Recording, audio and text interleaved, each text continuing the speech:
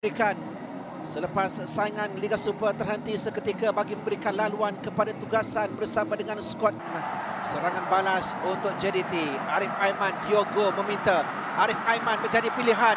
Peluang untuk Arif Aiman kali ini agak terbuka dan mudah dari Arif Aiman. Gabriel Perez ini. Arif Aiman lebih pantas untuk dia mendapatkan bola ke tengah dari Diogo. Untuk Juan Muniz lencongan yang menewaskan Khair Fahmi dari Davis larian daripada Arif Aiman.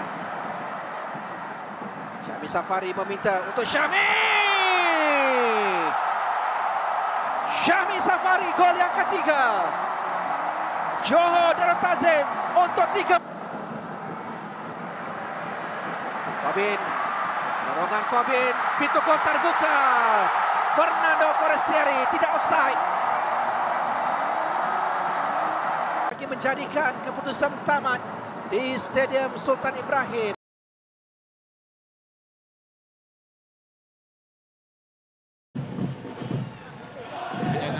Saja tiupan whistle dari Zamzaidi Katimin untuk memulakan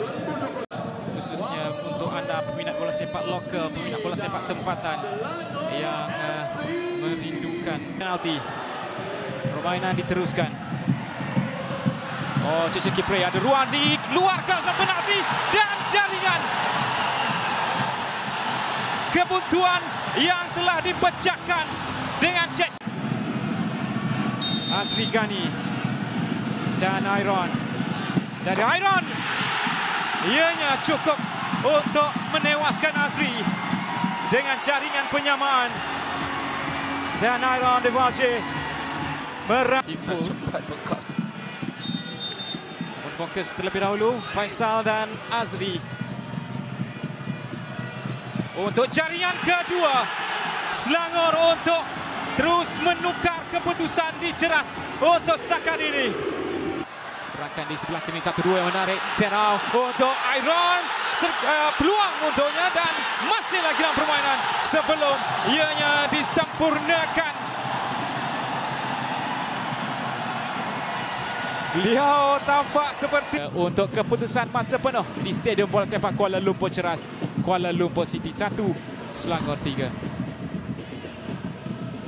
Untuk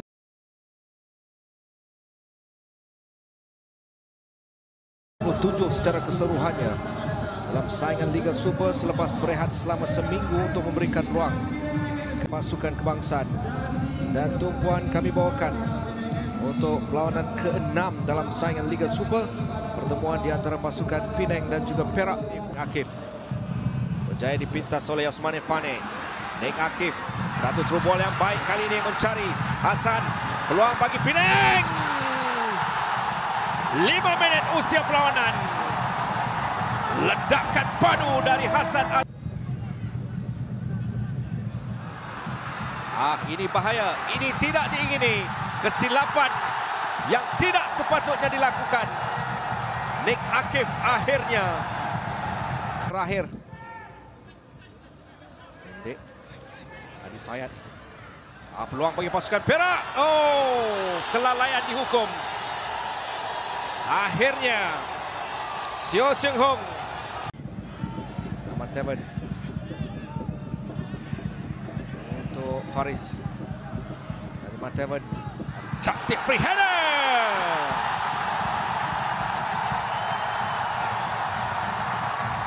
Penyusunan Dimulai dengan Hasan Sonisan minit ke-6 Dan pemain gantian Giovanni Gomez sementara jaringan tunggal untuk pasukan Perak dihasilkan oleh Sio Seung Hyung.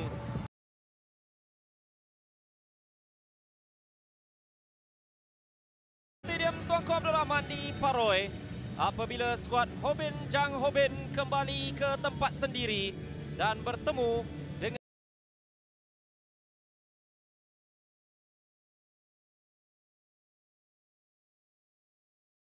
gerakan dan corak permainan uh, Sapuan. Dapat lihat tadi dia agak ke depan. Mahali terus dilepaskan. Ada Levin Badinda memilih untuk mencuba sendiri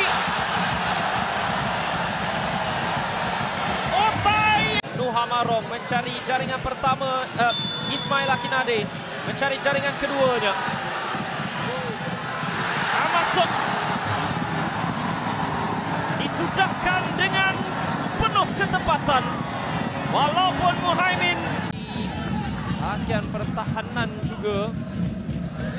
Oh, tapi clearance itu tidak dapat dilakukan dengan lebih jauh. Mali antara ke tengah ada tandukan baik.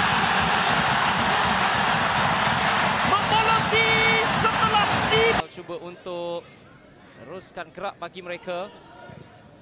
Noah Marong untuk Kafa Abdul Rahman. Itu antaran lintang yang menarik. Rencongan ini juga tandukan. Mengisi kekosongan ada di seberang situ. Satu antaran baik sekali lagi. Kasa Grande dicari dan Syaril Fikri menyudahkannya.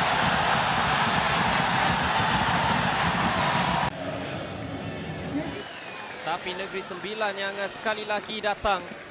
Levi Madinda. Dorongan ini baik untuk Syarif Fikri dan Kasa Grande. Jika jadi tabar aksi di Stadium Tuanku Abdul Rahman di Paroi. Negeri Sembilan Empat, Kelantan Dua.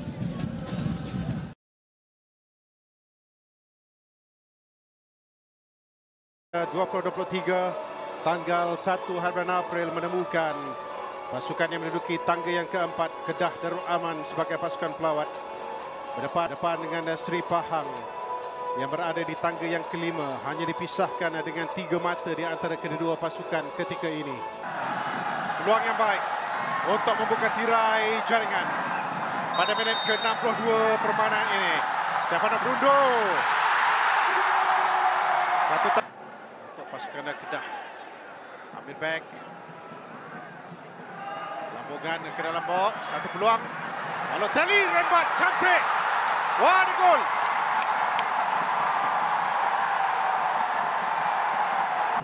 Untuk menjadikan kedudukan pelanan ke-41 di Stadium Darul Makmur Kuantan ini. Seri Pahang. Izzat Zainal Abidin pertemuan pasukan di tempat yang ke-9 saingan Liga Super Terengganu melayani kunjungan Kelantan United.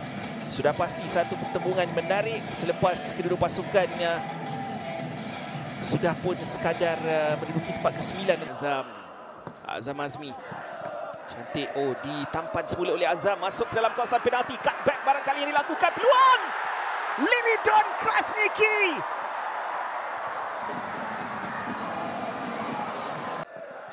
mereka masih lagi ada Ernst dan Gregory di bahagian sim bagus simpanan juga. Pasukan Kelantan United. Oh cantik sekali lagi. Limidon tandukan yang kedua.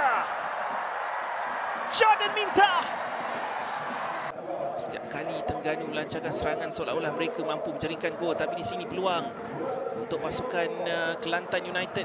Dari sebelah kiri OJ percubaan terus OJ posterior. Dan itu dia jaringan Terengganu pengesahan Terengganu mencatatkan tiga mata penuh kemenangan 2-1 ke atas Kelantan United. Selamat malam. Jumpa lagi dalam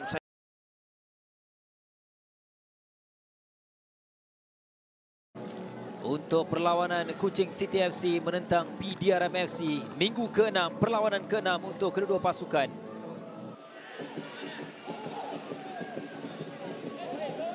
Oh, kesilapan dari Kuching City Bruno menggunakan kelebihan ini. Hasil kesilapan pertahanan Kuching City